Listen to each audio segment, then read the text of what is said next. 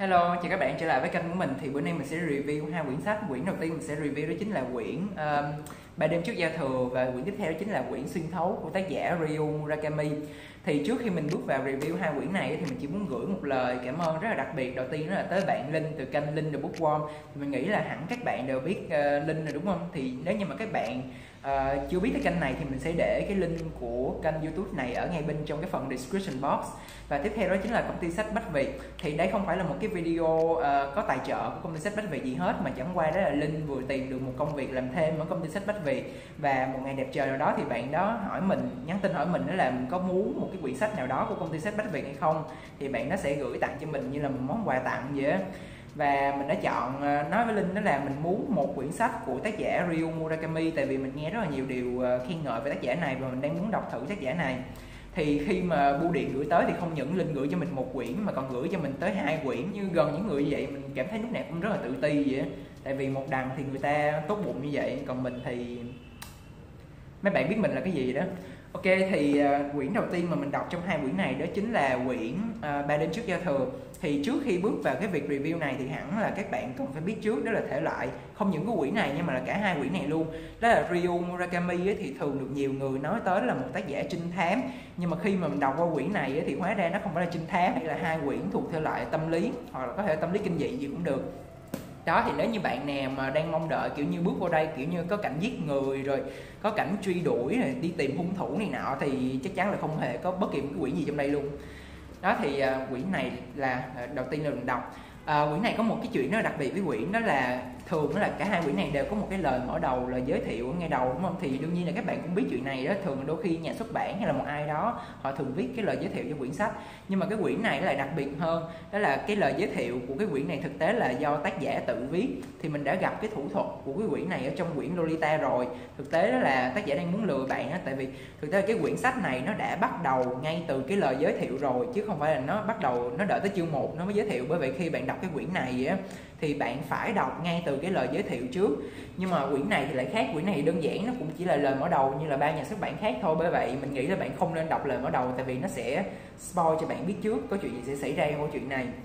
Còn cái này, trở lại với quyển này, thì cái lời giới thiệu khi mà mình biết trước đó là tác giả viết thì ok, mình cũng đọc thử và mình khá là bất ngờ nha. Tại vì cái lời giới thiệu của quyển này nó đã spoil cho bạn biết trước toàn bộ luôn. Vậy nhưng mà khi mình đọc vô thì mình phát hiện ra như mình đã nói đây là cuốn truyện tâm lý. Có nghĩa là ngay cái lời giới thiệu á mặc dù tác giả đã cho bạn biết trước, đó là sẽ có chuyện gì xảy ra, rồi sẽ khi nào có cảnh giết người, rồi ai sẽ sống, ai sẽ chết á. Nhưng mà tác giả lại không cho bạn biết trước là tại sao cái nhân vật lại đi tới cái hành động như vậy. Và chính vì tác giả đã không nói trước cho mình biết chuyện đó, nên bởi vì mình, mặc dù là mình đã biết trước là sẽ có khi nào xảy ra đánh nhau, khi nào xảy ra giết người á, nhưng mà mình luôn luôn tò mò, thắc mắc là, ủa, tại sao rốt cuộc thì cái nhân vật này lại hành động như vậy. Và cái cách mà tác giả, kiểu như, nhóm trước chúng ta một tí xíu gợi ý rồi sau đó từ từ giải thích tại sao tâm lý nhân vật như vậy thì mình nghĩ đó là một cái cấu trúc truyện rất là đặc biệt mà lần đầu tiên mình được gặp luôn. Thì mình rất là ấn tượng với cấu trúc đó. Và đồng thời cái cấu trúc của cái quyển truyện này nó làm cho cái, sao ta? Cái không khí của chuyện nó rất là khác biệt so với tất cả những cái chuyện khác nha. Và mình cũng không hoàn toàn ngạc nhiên lắm, tại vì mình biết đây là một chuyện nhật. Thì chuyện nhật lúc nào cũng nổi tiếng với việc đó là cái không khí trong chuyện nó rất là tĩnh, như kiểu một cái mặt hồ và rất là tĩnh vậy. Nhưng mà cái quyển này nó khác so với những cái quyển chuyện nhật khác của mình, nghĩa là mình cảm thấy nó có một cái gì đó phải gọi là rất là giận dữ trong cái quyển này nha. Kiểu như như mình mới vừa nói đó, cả hai nhân vật này đều là những người anti social thì họ rất là tức tối với cái xã hội này và trong ba đêm đó họ đi dọc quanh cái khu phố, nhìn ngắm những con người trong xã hội và đương nhiên là họ có những cái suy nghĩ rất là tiêu cực, rất là ghét về cái xã hội đó. Thì chính những cái suy nghĩ đó làm cho quyển này mình cảm thấy nó có một cái không khí gì đó rất là phẫn nộ trong này, kiểu là sự giận dữ cực kỳ mạnh và thậm chí nó còn đi tới một cái bậc cao hơn, đó là giết người á. Đó thì, nhưng mà cái việc đó nó không làm cái quyển này trở thành cái quyển gọi là hành động trinh thám gì giết người này nọ, mà nó kiểu như rất là tĩnh nhân kiểu hai nhân vật này chỉ đi qua đi lại và nói chuyện trong gần hết tất cả cuốn chuyện này và cái chính là cái không khí mà hòa quyện giữa sự giận dữ và sự tĩnh lặng của cái quyển truyện này là mình rất là ấn tượng với cái quyển này luôn. Và quyển tiếp theo là mình đọc đó chính là quyển xuyên thấu cũng là cùng một tác giả Ryo Murakami. Thì quyển này thì như nãy mình mới nói đó là bạn không nên đọc lời mở đầu nha tại vì nó sẽ spoil trước cho bạn biết chuyện gì sẽ xảy ra luôn á. Thì quyển này theo mình đánh giá thì uh, quyển này uh, sao ta? Mấy bạn có biết cái thuật ngữ bi hài kịch không? Tại vì cái quyển này chính là cái đó bi hài kịch. Thì nếu như các bạn biết thuật ngữ này thì nó để tả một cái việc kiểu như một câu chuyện mà nó vừa có những cái bi kịch trong đó nhưng đồng thời nó cũng rất là hài kịch trong đó vậy đó. thì cái cách mà tác giả đã nghĩ ra cái ý tưởng mà đang xen trong này thì mình cảm thấy rất là hay.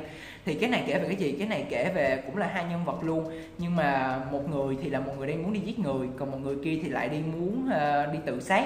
Nhưng mà cái buồn cười ở chỗ là cái ông đi giết người á, thì nhắm cái bà này nhắm cái bà này rất là dữ nên bây giờ ông phải đi theo sát cái bà đó. Nhưng mà trong khi cái bà đó là một cái người mình lúc nào cũng kiểu như là tự nhận không có ai thương mình á thì tự nhiên khi thấy ông này cứ theo theo sát mình nữa bà lại tưởng là ông này yêu bả thì có những cái cảnh rất là buồn cười trong chuyện nha. Ví dụ như cái cảnh mà tự nhiên ông lao tới bà này á kiểu như để chuẩn bị bóp cổ bả nhưng mà cái bà này thì bả lại tưởng là ông đang yêu bả mà. Bởi vì bả tưởng là ông lao tới để ờ, ấy ấy thì bả giống kiểu à, tới với em đi anh vậy nói chung là đọc cũng khá là buồn cười. Thì nó sẽ tập trung vào cái kiểu hàng xóm mới vừa thấy mình quay phim á. Mình không thích cái phân tích tâm lý của cái quyển này bằng à, cái quyển này, tại vì nó sẽ đọc rất là, sao ta, nó rất là có những cái đoạn mình biết là trong chuyện nhật, đặc biệt trong chuyện tâm lý, chúng ta phải phóng đại cái hình ảnh của cái nhân vật này lên á. Nhưng mà cái quyển này mình cảm thấy nó phóng đại một cách hợp lý hơn cái quyển này. Quyển này đôi khi cảm tưởng nó rất là quá luôn kiểu như có một cái cảnh là nhân vật nữ trong này thì bà ta có một cái kiểu như là bị sốc tâm lý. Và khi mỗi lần ai la vào mặt á, thì bà sẽ rất là sợ hãi và thậm chí nghĩ nghe tới chuyện uh, tự sát vậy. Mình cảm thấy chuyện rất là buồn cười tưởng tượng nếu bà sống ở Việt Nam mình nhớ là sống ngay mấy khu chợ rồi không lẽ cứ mỗi một lần bà đi ra ngoài đường bị ai đó la một cái là lập tức uh, bà kiểu như ờ, muốn đi tự sát. Sao bởi mình thấy chuyện này rất là hàng xóm này nhìn mình quay phim.